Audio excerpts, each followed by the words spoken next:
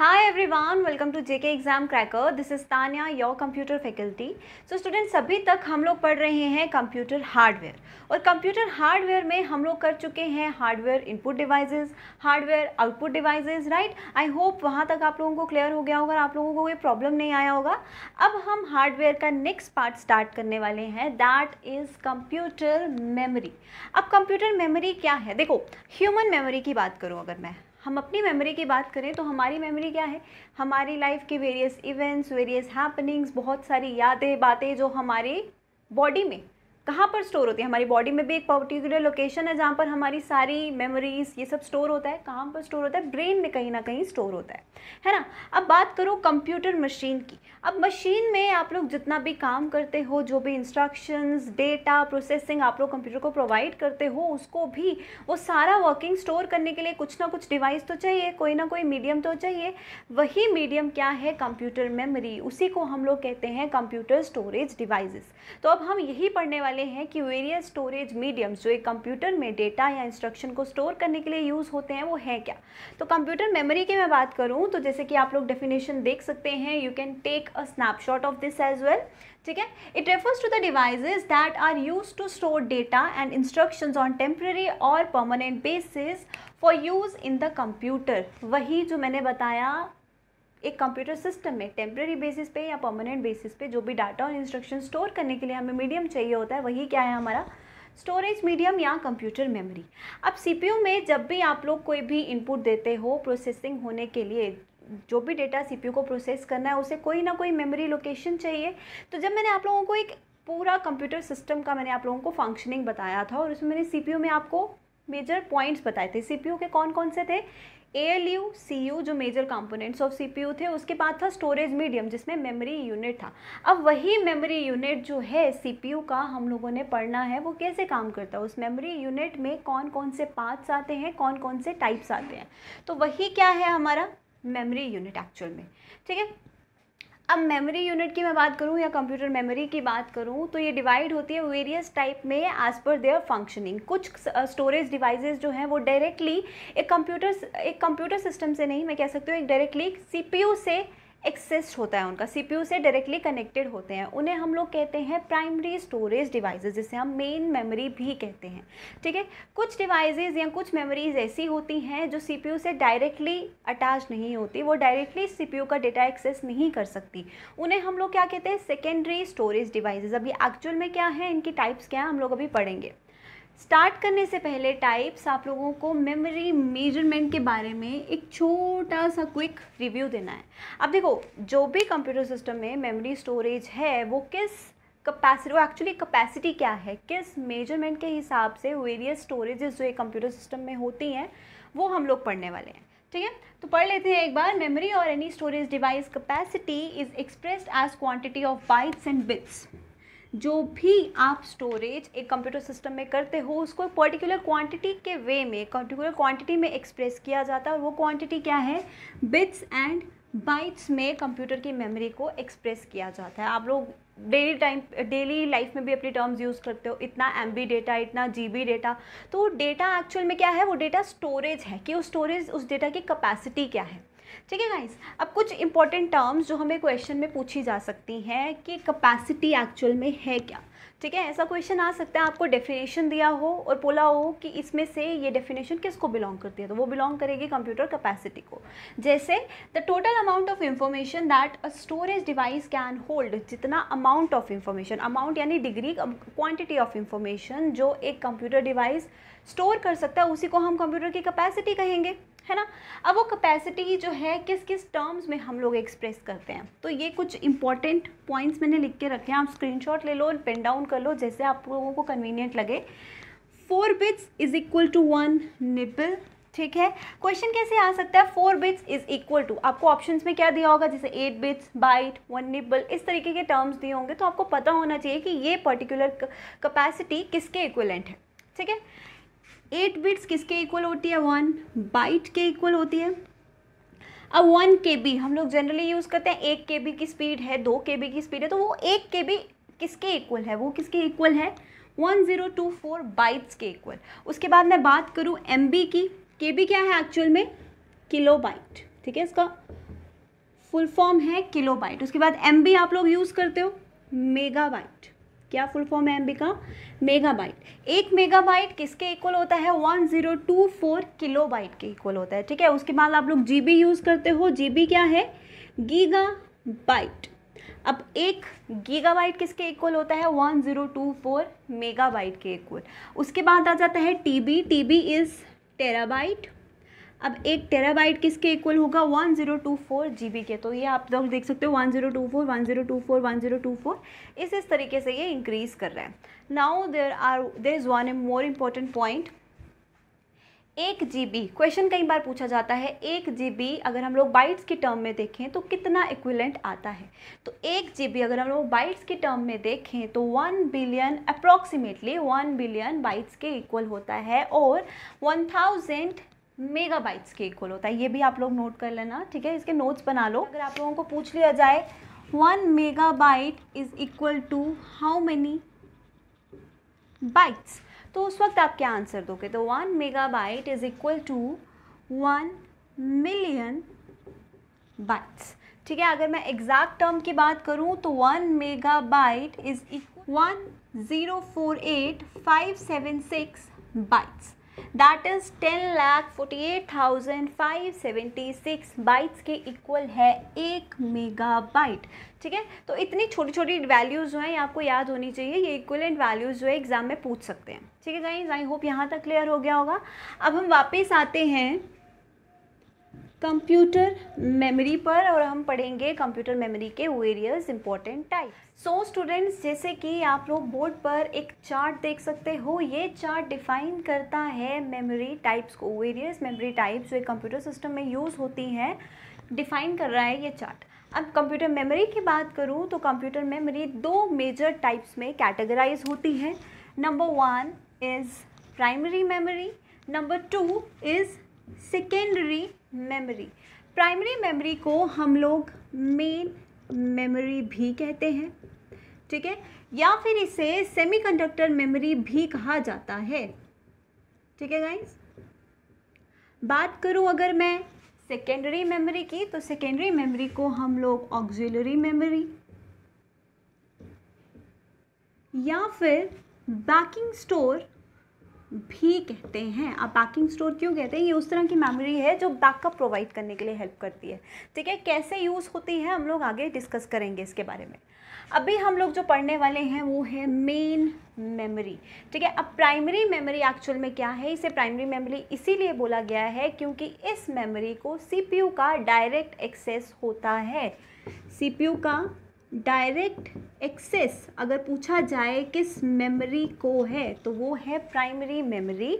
अगर बात की जाए सेकेंडरी मेमोरी की तो सीपीयू का इनडायरेक्ट एक्सेस जिस भी मेमोरी को होता है, वो मेमोरी है सेकेंडरी मेमोरी अब प्राइमरी डिवाइसेस में मैंने कहा कि डायरेक्ट एक्सेस ऑफ़ सीपीयू ऐसा क्यों कहा? क्योंकि देखो, जो भी प्रोसेस अभी एक सीपीयू पर चल रहा है कंप्यूटर सिस्टम पे जो भी आप काम कर रहे हो, जो भी डेटा इंस्ट्रक्शन आप एक कंप्यूटर सिस्टम को दे रहे हो करंटली जिस भी, जो भी काम आप एक कंप्यूटर पर कर रहे हो, उस काम को, वो सारी वर्किंग को कौन सी मेमोरी होल्ड करके रखती है? वो मेमोरी होल्ड करके रखती है प्राइमरी मेमोरी इसीलिए इसे मेन मेमोरी भी भी कहा जाता है। कभी भी एग्ज़ाम में क्वेश्चन पूछा जाए कि वर्किंग मेमोरी ऑफ़ कंप्यूटर किसे कहा जाता है? तो वर्किंग मेमोरी ऑफ़ कंप्यूटर कहा जाता है प्राइमरी मेमोरी को। जैसे कि मैंने बताया, जो भी करंटली आप एक काम कंप्यूटर सिस्टम पर कर रहे हो, वो सारे डेटा वो सेट ऑफ़ इंस्ट्रक्शंस को कौन होल्ड करके रखता है एक सीपीयू में? प्राइमरी मेमोरी होल्ड करके रखती है। ठीक है? इसीलिए इसे कहा जाता है working memory of a computer system और ये मेन मेमोरी है तो इस मेमोरी के बिना एक कंप्यूटर वर्क नहीं कर सकता। Computer can not run without primary memory ठीक है जी, इसीलिए इसे मेन मेमोरी कहा जाता है।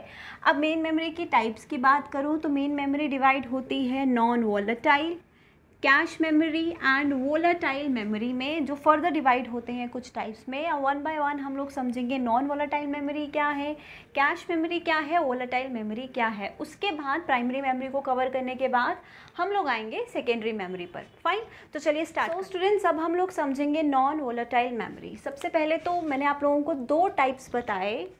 तीन टाइप्स बताए। Cache memory volatile memory non volatile memory अब वॉलेटाइल मेमोरी का मतलब क्या है कि डेटा या इंस्ट्रक्शंस को मेंटेन करने के लिए जिस तरह की मेमोरी को पावर सप्लाई की ज़रूरत पड़ती है, वो है वॉलेटाइल मेमोरी अब नॉन वॉलेटाइल का मतलब क्या है? No need of power supply यानी कि जिससे एक कंप्यूटर सिस्टम में इंस्ट्रक्शंस डेटा को मेंटेन करने के लिए पावर सप्लाई की ज़रूरत नहीं है, वही है नॉन वोलाटाइल मेमोरी अगर आप किसी भी अपने सिस्टम पर वर्क कर रहे हो, एकदम से लाइट चली जाती है तो अक्सर आप लोग देखते हो कि आपका डेटा लॉस्ट हो गया है। डेटा जिस पर जितना भी आपने काम किया, वो सारा का सारा काम गायब हो गया है लाइट आने पर। तो वो किस पर स्टोर्ड है, वो स्टोर्ड है वॉलेटाइल मेमोरी पर। लेकिन अगर आप नॉन वॉलेटाइल मेमोरी का कुछ भी काम कर रहे हो तो वो डेटा कभी भी लॉस्ट नहीं होता है, वो as it is computer system में मेनटेन रहता है। अब इसमें आता है सबसे important read only memory read only memory that is ROM कभी भी पूछा जाए कि आर ओ एम रोम का फुल फॉर्म क्या है तो वो है रीड ऑनली मेमोरी अक्सर क्वेश्चन ऐसा भी पूछा जाता है कि रोम में ओ स्टैंड फॉर वॉट ठीक है? पूरा एब्रीवेशन नहीं पूछते, किसी एक वर्ड का रेफरेंस किसी एक लेटर का मीनिंग आप लोगों को पूछ लेते हैं तो वो भी आपको पता होना चाहिए। जस्ट टू कंफ्यूज स्टूडेंट को करने के लिए ऐसे क्वेश्चंस पूछे जाते हैं। तो रोम का फुल फॉर्म है रीड ऑनली मेमोरी अब रीड ऑनली मेमोरी एक परमानेंट टाइप ऑफ़ मेमोरी है, ठीक है? A permanent memory that stores instructions और data which can only be read और डिस्ट्रॉयड अब आप जो भी डेटा एक कंप्यूटर सिस्टम में कभी भी चेंज नहीं कर सकते हो, उसको कभी भी कुछ भी उसमें ट्रांजिशन ट्रांसफॉर्मेशन नहीं कर सकते हो तो वो एक्चुअल में कौन सा डेटा है, वो है उस तरह के इंस्ट्रक्शंस जो कहाँ पर स्टोर्ड हुए हैं परमानेंट मेमोरी में। परमानेंट क्यों बोला गया? जैसे मैंने बताया कि पावर सप्लाई हो या ना हो, ये एक कंप्यूटर सिस्टम में एज इट इज़ परमानेंट ही रहता है। इसीलिए इसे परमानेंट मेमोरी भी बोला जाता है। ठीक है गाइस तो इस तरह के डेटा जो एक परमानेंट मेमोरी में स्टोर्ड है, उस तरह के इंस्ट्रक्शंस को आप लोग या तो सिर्फ़ रीड कर सकते हो, या तो उसे टोटली डिस्ट्रॉय कर सकते हो। आप उस पर कुछ भी तरह का राइट या कुछ भी तरह का और चेंजेस नहीं कर सकते हो।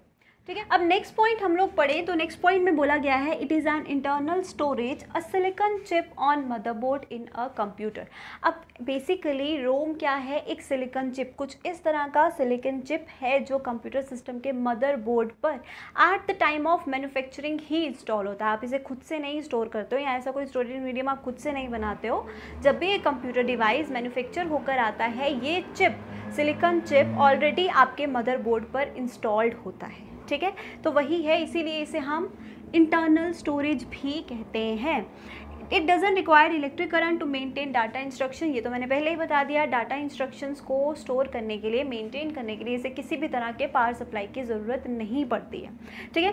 अब मैं बात करूँ ना रोम के कुछ फीचर्स की तो जब भी आप एक कंप्यूटर सिस्टम को ऑन करते हो ठीक है, मैं बोल रही हूँ, आप डिवाइस को ऑन करते हो तो वो डिवाइस को ऑन करने में किस तरह की मेमोरी यूज़ होती है? वो मेमोरी है रोम रीड ऑनली मेमोरी किसमें हेल्प करती है? Helps in turning on a device अब एक क्वेश्चन अगर मैं आप लोगों से पूछूँ कि जब भी आप एक डिवाइस को टर्न ऑन करते हो टर्न ऑन करते हो आप एक डिवाइस को ऑन करते हो कंप्यूटर सिस्टम हो या आपका मोबाइल फ़ोन हो तो उस प्रोसेस को क्या बोला जाता है? जी हाँ उस प्रोसेस को भी टेक्निकल लैंग्वेज में एक नाम दिया गया है और उस प्रोसेस को क्या बोला जाता है? तो ये क्वेश्चन भी इंपॉर्टेंट है। जब भी कंप्यूटर सिस्टम टर्न ऑन होता है, उस प्रोसेस को क्या बोला जाता है? बूटिंग क्या बोला जाता है? बूटिंग या कई बार इसे बूट स्ट्रैप भी कहा जाता है। तो बूटिंग या बूट स्ट्रैप में किस तरह का मेमोरी हेल्प करता है? रीड ओनली मेमोरी हेल्प करता है। तो स्टूडेंट्स मैंने अभी आप लोगों को बताया कि एक सिलिकॉन चिप रोम जो है, एक सिलिकॉन चिप के फॉर्म में मदरबोर्ड पर मैन्युफैक्चरिंग के टाइम पर ही इंस्टॉल्ड होती है। अब इस सिलिकॉन चिप में कुछ सॉफ्टवेयर्स, कुछ स्पेशल सॉफ्टवेयर्स मैन्युफैक्चरिंग के टाइम पर ही इंस्टॉल किए जाते हैं। उसी टाइम पर ही इस पर स्टोर किए जाते हैं। तो कभी भी पूछा जाए कि रोम पर किस तरह के पहले से मैन्युफैक्चरिंग के टाइम पर कौन तरह के सॉफ्टवेयर्स जो हैं वो इंस्टॉल किए जाते हैं तो उसे नाम दिया गया है वेयर आप लोगों ने आई गेस ये नाम सुना भी होगा। These are the special type of softwares जो एक सिलिकॉन चिप रोम पर ऑलरेडी इंस्टॉल्ड होते these are the softwares which are permanently installed permanently installed होते हैं सिलिकॉन चिप में at the time of manufacturing आप लोगों ने अक्सर देखा होगा, अगर आप अपने कंप्यूटर सिस्टम की बात करें, अपने मोबाइल डिवाइस की बात करें तो कुछ तरह के सॉफ्टवेयर्स ऐसे होते हैं कि जब आप अपना डिवाइस ख़रीदते हो, उसी वक्त वो प्रोग्राम्स वो सॉफ्टवेयर उसमें ऑलरेडी इंस्टॉल्ड होते हैं। ना तो आप उन्हें शेयर कर सकते हो, ना ही आप उनमें कोई चेंज कर सकते हो राइट अब वो सॉफ्टवेयर एक्चुअल में क्या है? वो सॉफ्टवेयर हैं फॉर्मवेयर्स जैसे देखो, मैं एक एग्ज़ाम्पल देती हूँ। अगर आपके कंप्यूटर सिस्टम में कोई भी वर्ड फ़ाइल आपने बनाया है, कोई भी म्यूज़िक फ़ाइल है, ठीक है, कोई भी सॉन्ग फ़ाइल है तो आप उस सॉन्ग फ़ाइल को शेयर कर सकते हो। एक डिवाइस से दूसरे डिवाइस में आप पेन ड्राइव से शेयर कर सकते हो, कोई भी अनदर डिवाइस कनेक्ट करके शेयर कर सकते हो तो वो हो गए शेयरेबल लेकिन कुछ सॉफ्टवेयर ऐसे होते हैं, जिन्हें आप अपने मोबाइल से या कंप्यूटर से कभी भी ट्रांसफ़र कभी भी शेयर नहीं कर सकते हो। क्यों नहीं कर सकते? क्योंकि वो परमानेंट सॉफ्टवेयर्स हैं, जो मैन्युफैक्चरिंग के टाइम पर ही मिले हैं। वो आप लोगों ने खुद से उसमें नहीं डाउनलोड किए हैं या इंस्टॉल किए हैं। वो ऑलरेडी इंस्टॉल्ड हैं। तो वो नॉन ट्रांसफरेबल हैं, जिसमें आप लोग ना तो जिन्हें आप सिर्फ़ रीड कर सकते हो, या तो जिन्हें आप सिर्फ़ डिस्ट्रॉय कर सकते हो, उन्हें ट्रांसफ़र या फिर कोई भी चेंज उन पर नहीं कर सकते। तो वही है स्टूडेंट्स रीड ओनली मेमोरी और उन तरह के सॉफ्टवेयर्स को हम लोग क्या कहते हैं? उन स्पेशल सॉफ्टवेयर्स को कहते हैं फॉर्मवेयर अब मैंने आपको बताया कि रोम हेल्प करता है एक कंप्यूटर सिस्टम को बूटअप करने में बूटिंग में डिवाइस को ऑन करने में। अब डिवाइस को ऑन करने में भी रोम पर, इस सिलिकॉन चिप पर कोई स्पेशल सॉफ्टवेयर तो होगा, कोई स्पेशल सॉफ्टवेयर इस पर फ़ीड होगा। तो जो सॉफ्टवेयर बूटिंग के लिए, ध्यान से सुनना, जो सॉफ्टवेयर बूटिंग के लिए यूज़ होता है, एक डिवाइस को ऑन करने के लिए यूज़ होता है, उस सॉफ्टवेयर को, उस तरह के फॉर्मवेयर को हम लोग क्या कहते हैं? उस तरह के प्रोग्राम को हम लोग कहते हैं B I O S oh very important term B I O S का फुल फॉर्म क्या है? बेसिक इनपुट आउटपुट यूनिट ठीक है गाइज़ जितना भी अभी तक बताया है, ये सारा प्रोसेस बहुत इंपॉर्टेंट है। एक बार मैं फिर से आप लोगों को रिवाइज करवा दूँ। हम लोगों ने रोम में क्या पढ़ा? रोम एक नॉन वोलाटाइल मेमोरी है, जो पावर सप्लाई को जिसकी, जिसको पावर सप्लाई की ज़रूरत नहीं पड़ती अपना डेटा या फिर जो भी इंस्ट्रक्शंस हैं उनको मेंटेन करने के लिए, है ना? क्यों नहीं ज़रूरत पड़ती? क्योंकि ये एक सिलिकॉन चिप है जो एक कंप्यूटर सिस्टम पर ऑलरेडी इंस्टॉल्ड होती है। जब भी आप कोई डिवाइस बाज़ार से लेकर आते हो, जब भी वो मैन्युफैक्चर होता है किसी भी कंपनी में, चाहे वो आपका मोबाइल डिवाइस हो, ठीक है? चाहे वो आपका कंप्यूटर सिस्टम हो, आपका लैपटॉप हो, कोई डिजिटल कैमरा हो, उसमें इस तरह के चिप्स को यूज़ किया जाता है। ठीक है? यहाँ तक समझ में आया? अब मैंने आपको बोला कि वो एक पहले से ही इंस्टॉल्ड चिप है। अब एक चिप पर ही हम लोगों ने बताया था, एक सिलिकॉन चिप पर ही वेरियस तरह के इंस्ट्रक्शंस हम लोग स्टोर करते हैं, जो प्रोग्राम्स एक कंप्यूटर पर स्टोर होते हैं, वो एक सिलिकॉन चिप पर ही स्टोर होते हैं, जैसे हम लोगों ने आई पढ़ा था, है ना?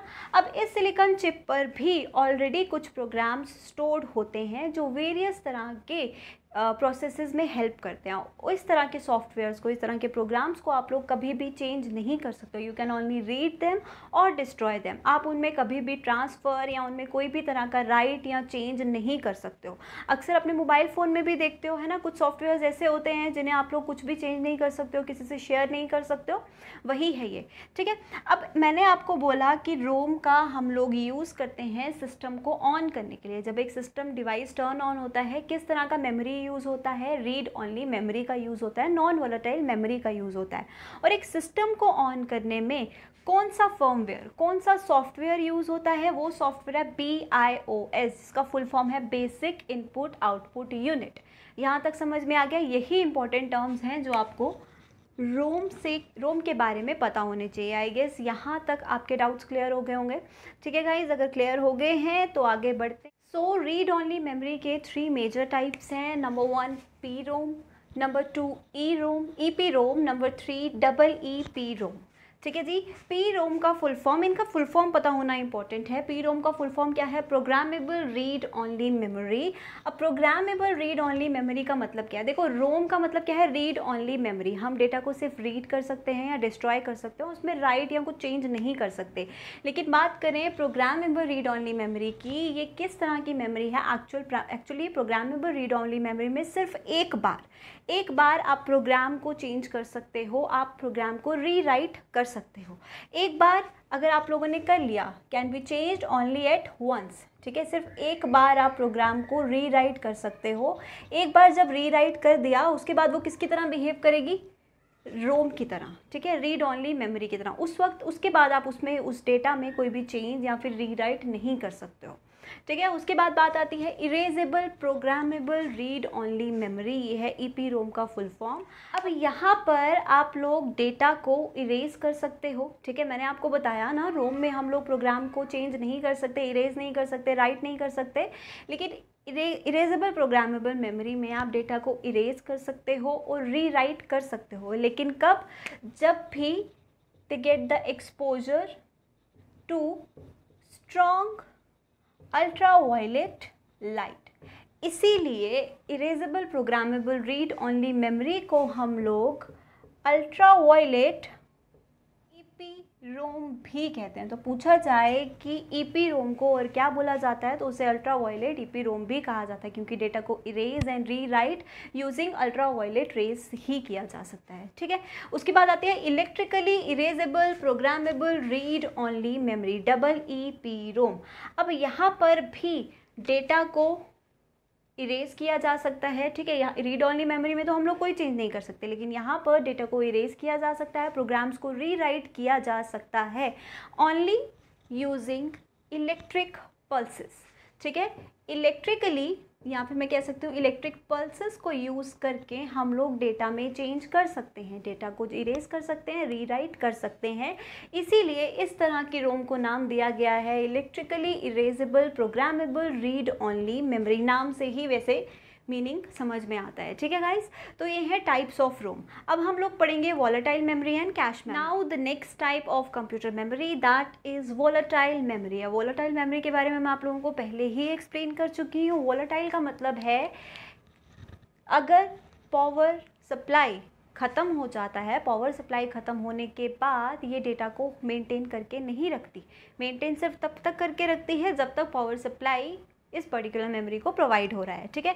अब इसमें आ जाता है RAM RAM is random access memory it is a most commonly use memory most commonly use type of memory which work with C P U to hold data instruction to be processed जो भी data या instruction आप currently computer system पे work कर रहे हो, उसको hold करने में किस तरह की मेमोरी हेल्प करती है? रैम आपका हेल्प करता है. Random access memory random access memory actual में एक रीड राइट मेमोरी है. रीड राइट मेमोरी जो सिर्फ़ तब तक डेटा होल्ड करके रखती है जब तक पावर सप्लाई मिल रहा है। ठीक है तो पूछा जाए रीड राइट मेमोरी कौन सा है? तो वो है रैंडम एक्सेस मेमोरी रीड करने के लिए सिर्फ़ मेमोरी कौन सा है? वो है रोम ठीक है रीड ऑनली मेमोरी अब कुछ और पॉइंट्स पढ़ लेते हैं। It is the first place where data is placed after being input and processed information is placed in it to be return to the output devices चलिए, मैं सिंप्लीफाई कर देती हूँ इस सेंटेंस को आपके लिए। बेसिकली कहने का मतलब क्या है? जब भी आप एक कंप्यूटर सिस्टम को इनपुट देते हो ठीक है? अब इनपुट ने प्रोसेस भी होना है। प्रोसेस होने से पहले इनपुट जहाँ पर स्टोर होती है, वो मेमोरी कौन सी है? रैंडम एक्सेस मेमोरी ठीक है? अब जो भी इंफॉर्मेशन आपने, जो भी डेटा आप लोगों ने कंप्यूटर सिस्टम को इनपुट किया इनपुट होने से पहले तो वो यहाँ स्टोर हुआ, उसके बाद उसका प्रोसेसिंग हुआ। प्रोसेसिंग होने के बाद वो आउटपुट डिवाइस को जाएगा, लेकिन आउटपुट डिवाइस पे जाने से पहले जिस पर्टिकुलर मेमोरी लोकेशन पे वो सेव होता है स्टोर किया जाता है, वो भी कौन सा है? रैंडम एक्सेस मेमोरी, यानी कि प्रोसेसिंग से पहले और प्रोसेसिंग के बाद पर जो भी डेटा आपने दिया है और इन्फॉर्मेशन आपको लेना है, वो कहाँ पर स्टोर होगा? रैंडम एक्सेस मेमोरी पर स्टोर होगा। समझ में आ गया? उसके बाद नेक्स्ट पॉइंट देखें तो लिखा गया है टेम्प्रेरी मेमोरी। जहाँ तक हमने रीड ऑनली मेमोरी पढ़ा था, वो परमानेंट मेमोरी था। किसकी वजह से? ऑब्वियसली पावर सप्लाई हम लोगों ने समझा। तो अगर इसको पावर सप्लाई नहीं मिलेगा तो ये डेटा को एकदम लॉस्ट कर देगी, गायब कर देगी। ठीक है? Allow data to be read and return quickly to run application ये थोड़ा सा फास्ट है जो भी डेटा रीड राइट होता है उसको क्विकली वर्किंग प्रोवाइड करता है ताकि जो भी प्रोसेसिंग है जो भी एक सीपीयू के एप्लीकेशन हैं वो जल्दी रन कर सके। अब ये डिवाइड होता है दो मेजर टाइप्स में that is D RAM and S RAM is dynamic RAM and S RAM is static RAM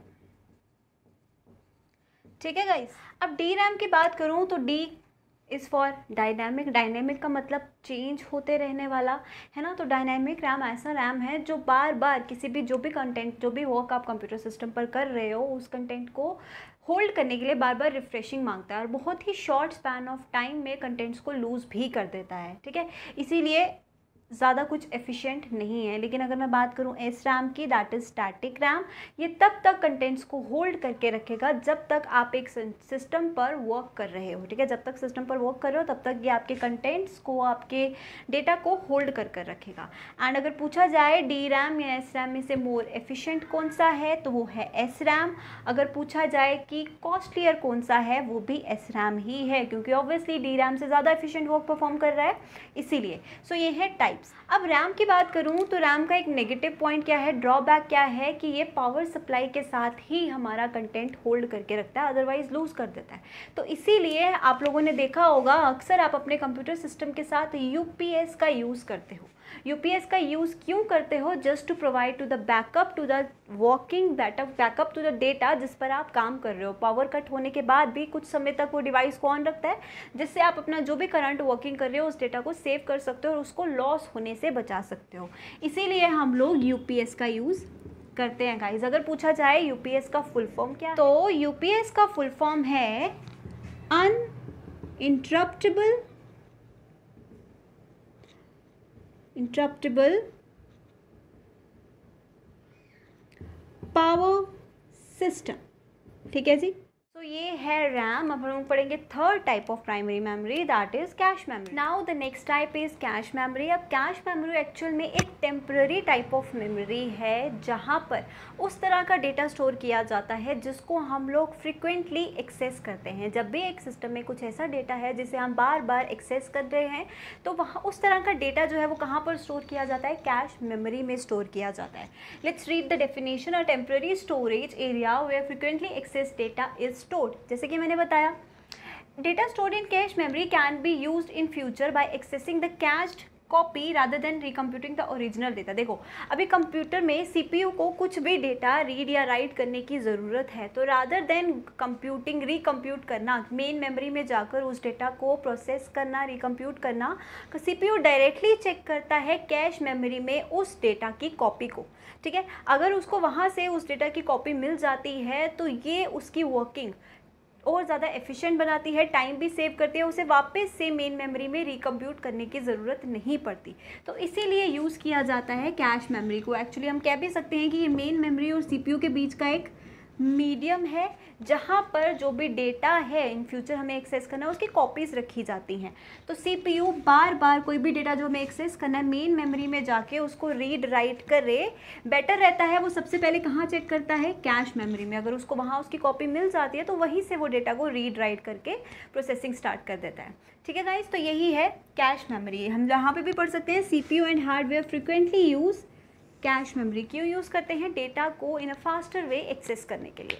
ठीक है गाइस तो ये है कैश मेमोरी और इसी के साथ ख़त्म होता है first part, that is first type, primary storage या प्राइमरी मेमोरी हम लोग कह सकते हैं। नेक्स्ट वीडियो में हम लोग पढ़ेंगे secondary memory secondary storage storage devices कहाँ यूज़ होते हैं, कैसे यूज़ होते हैं, इस वीडियो से रिलेटेड कोई भी डाउट होगा कमेंट सेक्शन में ज़रूर बताओ I'll answer all your comments ठीक है गाइज़ और अगर आप में से कोई भी इस चैनल पर नया है तो चैनल को सब्सक्राइब करना मत भूलना, बेल आइकन को प्रेस करो ताकि आने वाले वीडियोस के अपडेट्स आपको मिलते रहें। ठीक है गाइस तो पढ़ते रहिए गुड लक गुड बाय